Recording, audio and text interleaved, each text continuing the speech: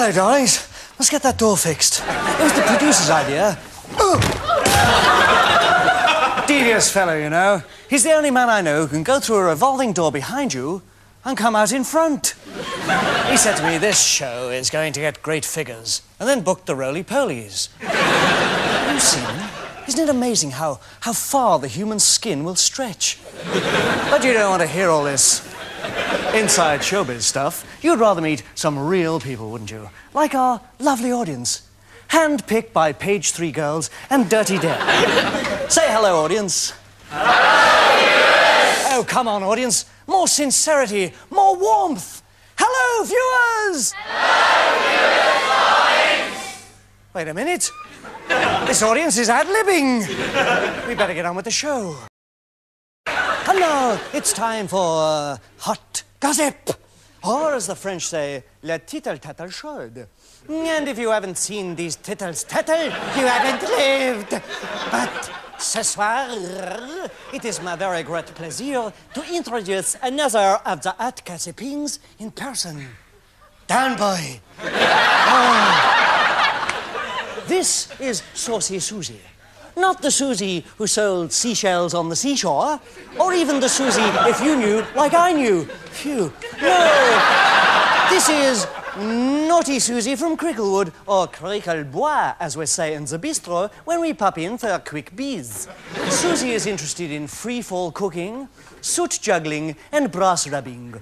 Her ambition is to play squash with Roy Hattersley in a lift and rub the Bishop of London's brasses. Susie is Aquarius with one leg rising, and there it goes now.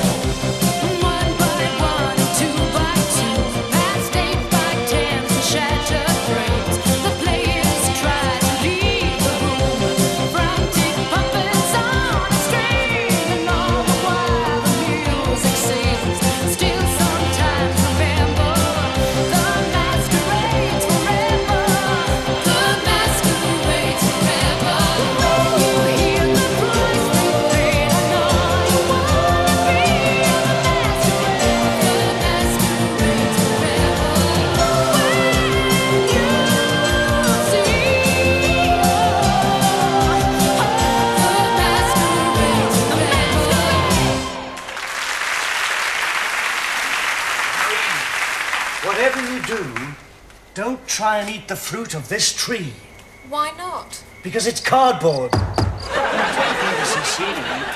Woman's a fool.